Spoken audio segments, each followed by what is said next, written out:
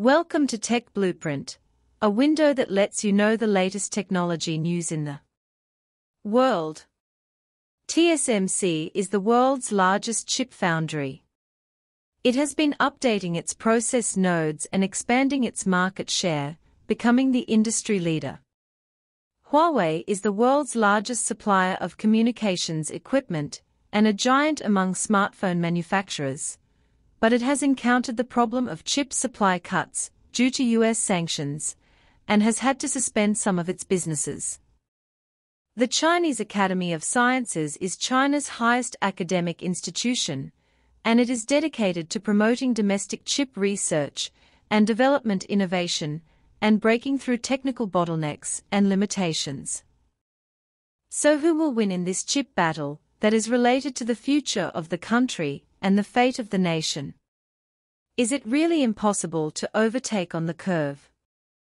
1. TSMC has another breakthrough, and the 3 nanometer process will be mass-produced in 2023. It is reported that TSMC chairman Liu Deng said at the shareholders meeting that TSMC will start mass production of the 3 nanometer process, N3, in the second half of 2023, and it is expected that the annual shipment volume in 2024 will reach 250,000 wafers. Liu Deng said that N3 is the only real 3 nanometer process in the world. Compared with the 5 nanometer process, N5, N3's performance has increased by 15%, power consumption has decreased by 30%, and logic density has increased by 70%. He also said that TSMC has begun to prepare for the 2 nanometer process, N2, and it is expected to start risk mass production in 2024. TSMC has become the world's largest chip foundry with its technological leadership and market advantages, and is also an important partner of well-known companies such as Apple, Qualcomm, and Nvidia. In the first quarter of 2021, TSMC accounted for 55.9% of the global wafer foundry market, much higher than Samsung's 17.4%, which ranked second.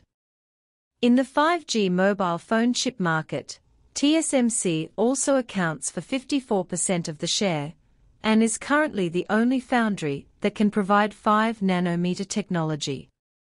TSMC's 3 nanometer process can make its leading position in chip manufacturing more stable, and will also provide strong support for the development of emerging technologies such as 5G, AI, and the Internet of Things.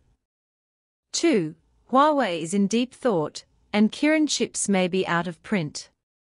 In sharp contrast to TSMC's breakthroughs, Huawei has fallen into an unprecedented difficult situation due to US sanctions. Since 2019, the US government has repeatedly imposed export restrictions on Huawei and listed entities on the pretext of national security, preventing Huawei from obtaining chips and other key components from the United States and its allies. In particular, the latest ban that came into effect on August 17, 2020 prohibits any company that uses US technology or equipment to produce chips for Huawei from doing business with Huawei unless it obtains permission from the US government. This means that Huawei cannot get chips from major suppliers such as TSMC, nor can it buy chips from other third-party manufacturers. This is a fatal blow to Huawei. Although Huawei has its own Kirin chip series, it does not have the ability to make its own chips, so it has to rely on external foundries.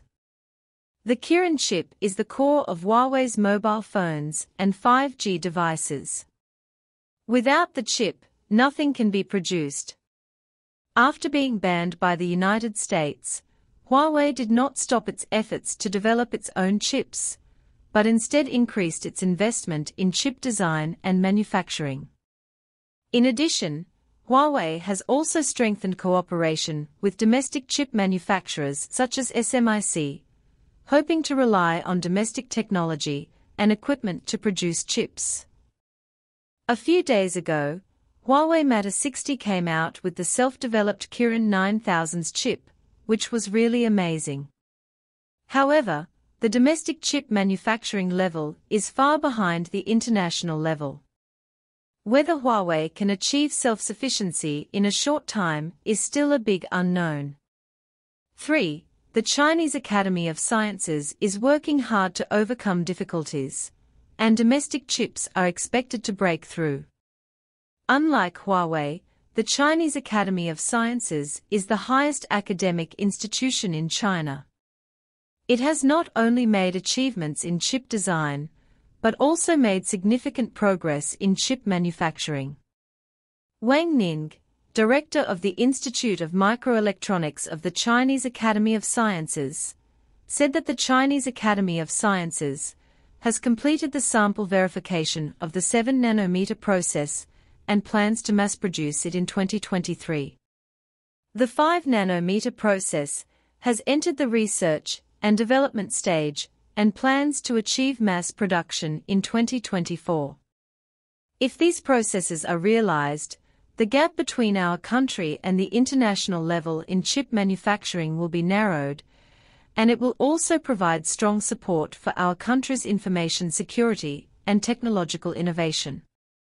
The research results and development plans of the Chinese Academy of Sciences in the field of chips show China's determination and confidence in strengthening national scientific and technological strength and ensuring national security. The Chinese Academy of Sciences has not only cultivated a group of outstanding chip talents for China, but also built a complete chip design and manufacturing system for China.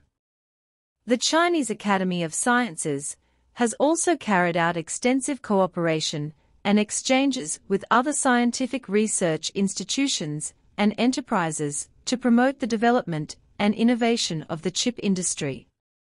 Conclusion Looking at the situations and challenges faced by TSMC, Huawei and the Chinese Academy of Sciences in the chip field, we can understand that the chip industry is highly competitive and highly cooperative, and all parties must work together and support each other.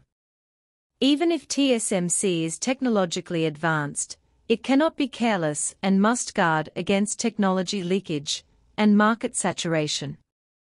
Even if Huawei is suppressed by the United States, it cannot be discouraged and must strengthen independent research and development and engage in diversified cooperation. Even if the Chinese Academy of Sciences has made a breakthrough, it cannot be proud and must quickly transform and promote it. Only by doing this can we win the final victory in this chip battle that is related to the future of the country and the destiny of the nation. So, what do you think of China's catch-up and innovation in the chip industry? Are you confident about the future of Chinese chips?